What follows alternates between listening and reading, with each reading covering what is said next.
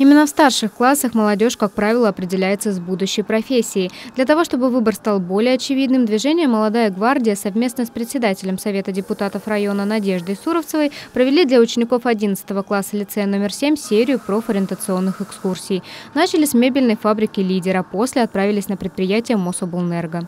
От ребят поступил запрос о том, что они хотели бы посмотреть вот, перед выбором своей профессии высшего учебного заведения, что, где вообще взрослые могут работать. Прошли основные участки, то есть это подготовка э, заготовок, дальше э, заготовки, перемещение заготовок по цехам, соответственно, сборки стульев и столов.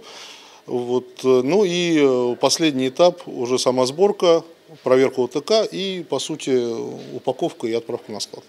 Учащиеся с энтузиазмом подошли к ознакомлению с производством организации, ведь это процесс очень познавательный.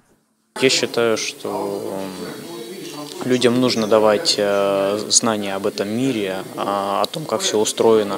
После Нового года будет утвержден дальнейший план экскурсий по отраслевым предприятиям для старшеклассников Щелковского района. Мария Буржинская, Игорь Поляков, Валерий Жиглей, телерадиокомпания «Щелково».